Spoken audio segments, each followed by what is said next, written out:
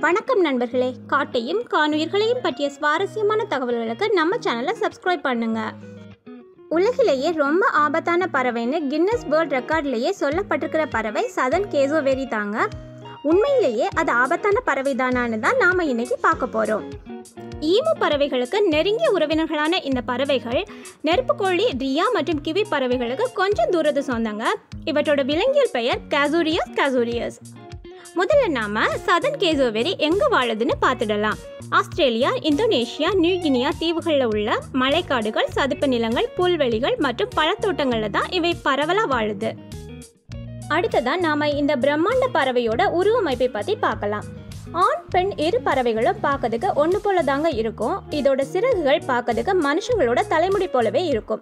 இந்த பறவைகளோட கழுத்துல இரண்டு நீளமான சிவப்பு நிற தாடிகள் இருக்கும். இதனாலேயே இதுக்கு டபுள் வேர்டல் கேசவாரின்னு ஒரு சிறப்பு பெயரும் வச்சிருக்காங்கன்னா பார்த்துக்கோங்க. ஹெல்மெட் போல இருக்கிற இந்த பறவைகளோட கொண்டை எதிர்பாலின பறவைகளை அட்ராக்ட் பண்ணதுக்கும் தூரத்தில் உள்ள கேசோவேரி பறவைங்க எழுப்புற சத்தத்தோட அதிர்வலைகளை உணர்றதுக்கும் பயன்படுதுங்க. இவற்றோட வலிமையான ஆயுதம்னா அது இவற்றோட நகம் தாங்க. பன்னிரெண்டு சென்டிமீட்டர் நீளமாக வளரக்கூடிய கூர்மையான நகம் எலும்புகளை உடைக்கிற அளவு ஸ்ட்ராங்காக எதிரிகளை தாக்கிறதுக்கு பயன்படுது.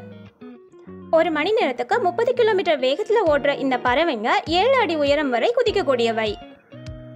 உலகத்தில் உள்ள எடை அதிகமான இரண்டாவது பெரிய பறவை இந்த சதன் கேசோவேரி தான். முதல் இடத்துல வர்றது நெருப்புக்கோழி. சதன் கேசூவேரி பறவைகளில் ஆண் பறவை ஐம்பத்தி ஐந்து கிலோ எடையும் பெண் பறவை எழுபத்தி ஆறு கிலோ எடையும் கொண்டதாக இருக்கும். அது மட்டும் இல்லாமல் உலகத்தில் உள்ள பறவைகளில் மூன்றாவது உயரமான பறவையும் இதுதாங்க.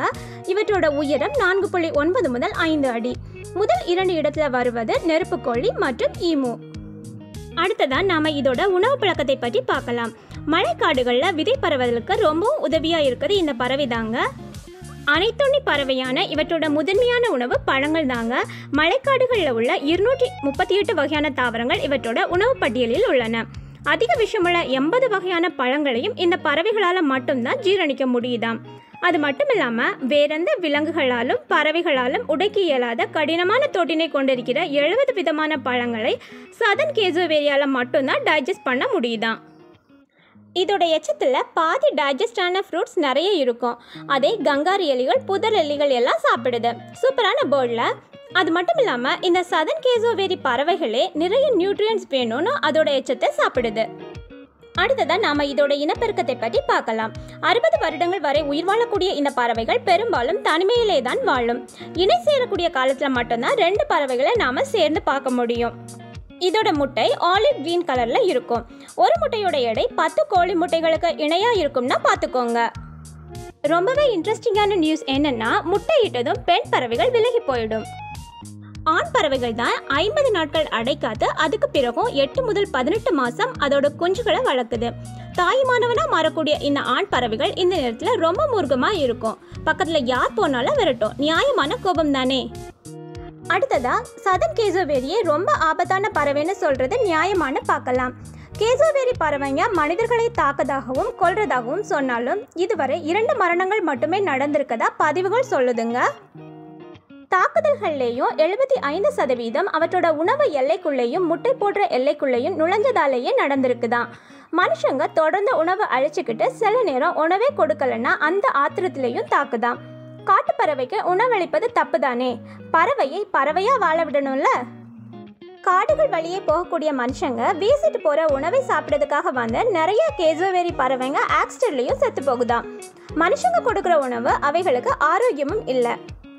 மழைக்காடுகளில் நூற்றுக்கும் மேற்பட்ட மரங்கள் தங்களோட விதை பரவலுக்கு சதன் கேசோவேரி பறவைகளை மட்டும்தான் நம்பி இருக்குது இந்த பறவைகள் எல்லாம் வேற உணவு தேடி போனால் அந்த மரங்களோட நிலை என்ன ஆகும்?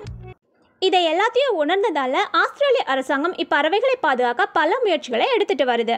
அது மட்டும் இல்லாமல் அங்கே உள்ள அபராஜின் பழங்குடி மக்களோட கலாச்சார நடனங்கள் மற்றும் விழாக்களோடு இப்பறவைகள் ஒன்று இருக்கதால அந்த மக்களும் கேசோவேரி பறவைகளை காப்பாற்ற முயற்சி செய்கிறாங்க கேசோவேரி பறவைகள் விரும்பி சாப்பிட்ற பல மரங்களை நடுறாங்க. அது மட்டும் இல்லாமல் இந்த பறவைகளுக்கு டூரிஸ்ட் சாப்பாடு கொடுக்கறதையும் தடுத்துட்டு வராங்க. காட்டு விலங்குகளுக்கு உணவளிக்க கூடாதுங்கிற இது போன்ற உண்மையான விழிப்புணர்வு நம்ம ஊர் மக்கள்கிட்டையும் வரணும். மனிதர்களோட தேவையற்ற இறக்கத்தினால காணுயிர்கள் மடியாம இருக்கணும். நன்றி நண்பர்களே இதை போல இன்னும் ஒரு அழகிய உயிரினத்தை பற்றிய சுவாரஸ்யமான தகவலுடன் மறுபடியும் உங்களை சந்திக்கிறேன். பேரன்புடன் டாக்டர் வானதி ஃபைசல்.